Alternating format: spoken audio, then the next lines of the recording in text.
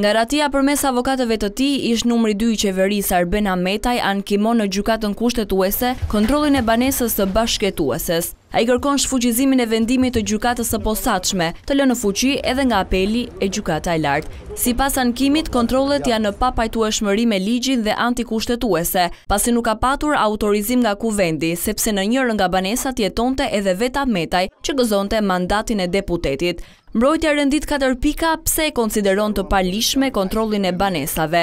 Nga kushtetuesja, Ahmetaj kërkon shfuqizimin e vendimit të Gjykatës së Lartë dhe dërgimin e çështjes për rigjykim në apel.